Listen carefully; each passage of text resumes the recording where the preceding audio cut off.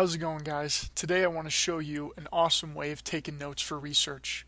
This was always one of the most challenging things for me to do when I was first learning how to do research papers, you know, to really take quality notes that helped me write excellent papers. So today I want to show you a few things that I've learned about this process. Quality research notes will all contain a few things. Number one, they will all have a topic and research questions listed on the page.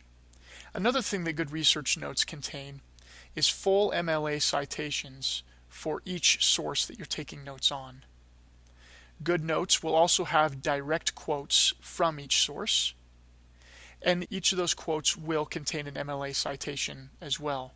Finally, good research notes have your own thoughts about the quotes that you've copied down. This is one of the things that we tend to overlook, but it's so vital that you put your own ideas in your notes so that you know what you were thinking when you wrote down that quote. So let's dive in and see how this works. I've created a Google Doc where I'm going to be keeping my research notes.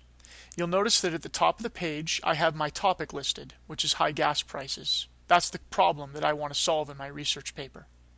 I also have four high quality narrow research questions that I want to be exploring. One of them is what are the effects of high gas prices on consumer spending? This is the thing that I'm going to be taking notes on today, or that I'm going to be searching for articles about. Once I have my topic and my questions down, I uh, want to create a space where I will be able to have both direct quotes from sources and my thoughts about those quotes. So what I'm going to go ahead and do is create a table on this document with two columns and two rows. On the left-hand side of the table, I will have direct quotes from each source. And on the right-hand side of the table, I will have my thoughts about those quotes. Now it's time to dive in, do some good advanced searches, and find sources that will be relevant to me. I've found one that I think helps answer my question about effects of gas prices on consumer spending. The title of the article is An Empirical Investigation of the Impact of Gasoline Prices on Grocery Shopping Behavior. I've looked over the abstract, which is found right here. And indeed, it looks like this is definitely an article that I'm going to want to be looking at in more detail. So the first thing I'm going to do is I'm going to pull up an MLA citation of this article. There's no reason to create one from scratch. I'll just click on Cite on the right hand side of the page, scroll down until I find the MLA citation.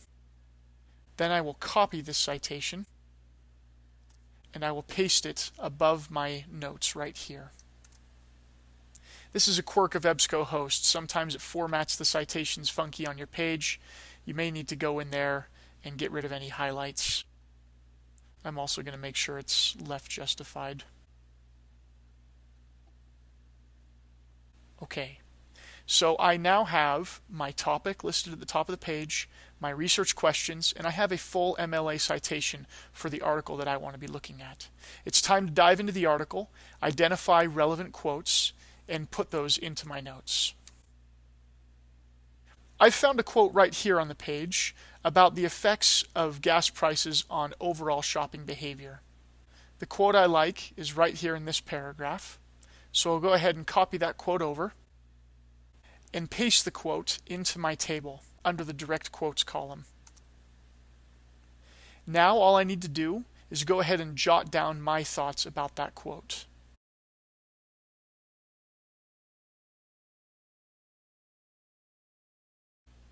I'll also write down any questions that this quote brings up.